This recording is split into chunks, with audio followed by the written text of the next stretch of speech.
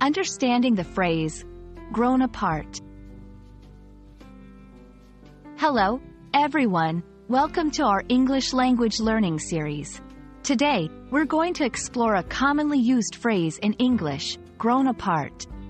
Understanding such phrases can greatly enhance your fluency and comprehension of the language. So, let's dive in.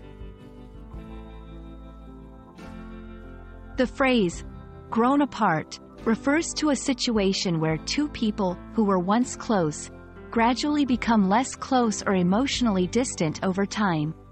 This change is often due to differences in interests, beliefs, or life circumstances. It's important to note that growing apart is a natural and gradual process and doesn't necessarily involve a conflict.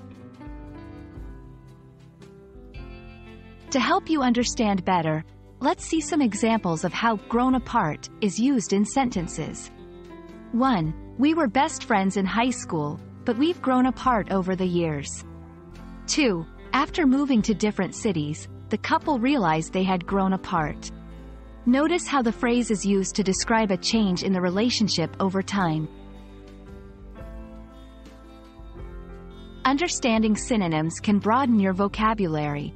Here are some synonyms for grown apart, drifted apart, become distant, lost touch. Each of these phrases conveys a similar meaning but can be used in slightly different contexts. In English-speaking cultures, the phrase, grown apart, is often used to describe relationships in a respectful and non-confrontational way. It's a way of acknowledging change without placing blame. This phrase is commonly found in discussions about friendships and romantic relationships. We hope this video has helped you understand the meaning and usage of grown apart.